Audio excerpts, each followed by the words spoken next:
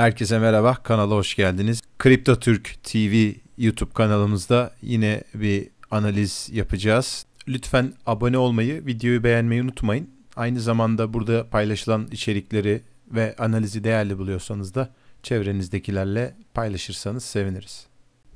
Doge'nin durumuna bakalım. Ee, genel analizde günlükten başlayalım. Şimdi Doge'de önceden gelen Fibo seviyesi trend bazlı baktığımızda e, bir çanak oluşumuna gidiyor gibi gözüküyor. Fakat önünde aşması gereken engeller var.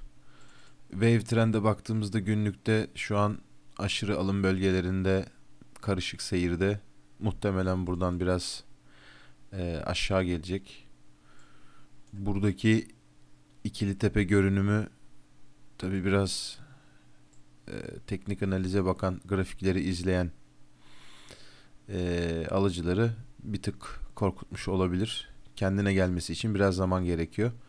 Fiyat seviyeleri, desteklerin, dirençlerin seviyeleri sağ tarafta bu artı işaretinin en sağına baktığınız zaman örneğin buraya bakalım. Şu an en sağda 35-40 gözüküyor. Bu ok aşağı yukarı indiğinde seviyelerin değiştiğini görebilirsiniz. Bizim burada bir negatif uyumsuzluğumuz olduktan sonra günlükte düşüş başlamış.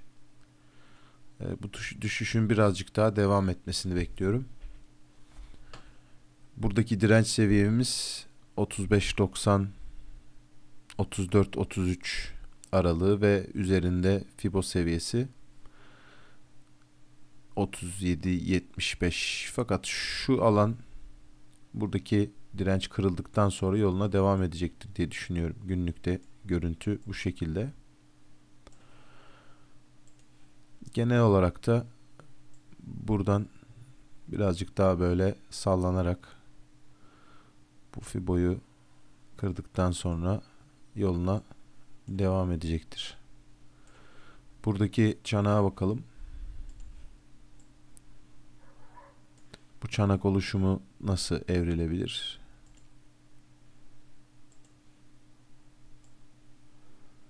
Muhtemelen geniş bir çanak olacak bu.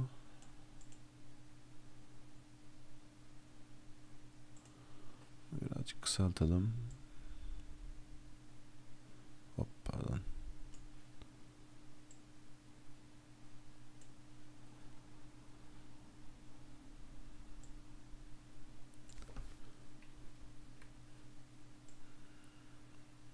Çanağın başlangıcını böyle alırsak eğer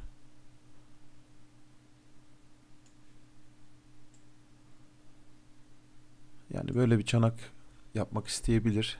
O biraz daha geniş zamandan bahsediyoruz. Yani böyle bir çanağın tamamlanması 2022'nin Şubat'ı ya da daha ilerisi. Tabii ki haber akışı gelmediği sürece.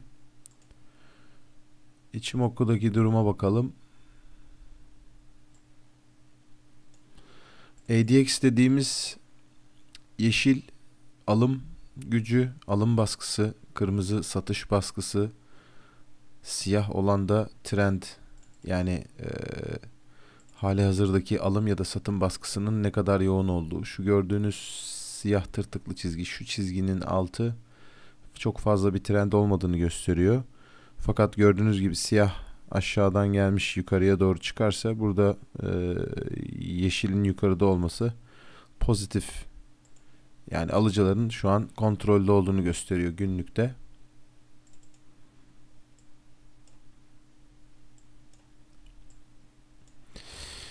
Ee, yani okuya baktığımızda da dipten bir dönüş var.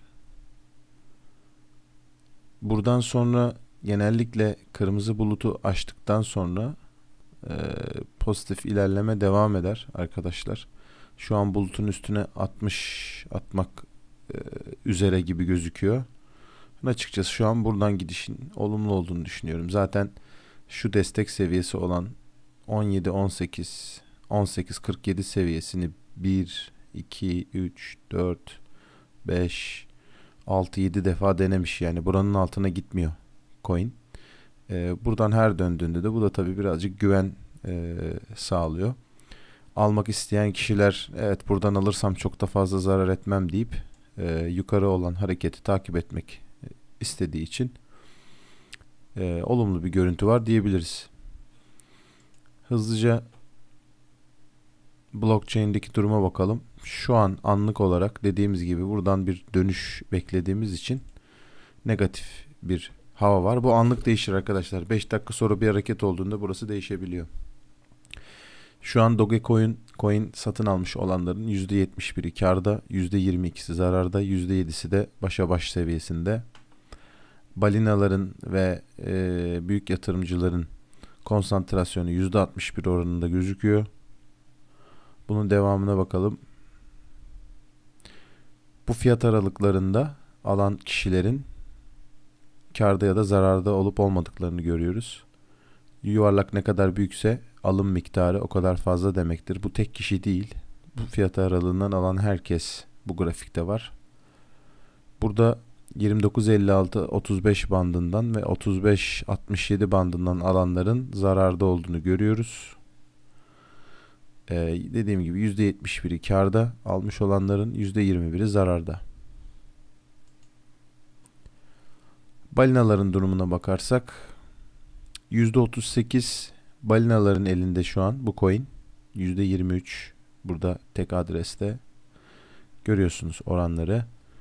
Geriye kalan 22, %22 oran yatırımcıların elinde. Yatırımcılar dediğimiz küçük yatırımcı değil. Küçük yatırımcılar retail diye geçiyor. Küçük yatırımcı ilgisi de gayet fazla %39.12'de. Dogecoin'in tutulma sürelerine bakarsak grafikte Ekim ayı itibariyle bir yıldan fazla tutanların oranı şu mavi kısım %43. %43'ü bir yıldır tutuyor bu coin elinde. %49'u bir ay ile 12 ay arasında değişken şekilde tutuyor. Ve %7'lik kısmı da bir aydan daha kısa bir süredir bu coin'e sahip ya da alıp satıyor.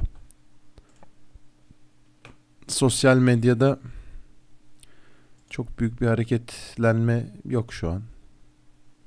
Yani bir tık artış var gördüğüm kadarıyla. Dediğim gibi burada birazcık da 4 saatlikte daha derine inelim.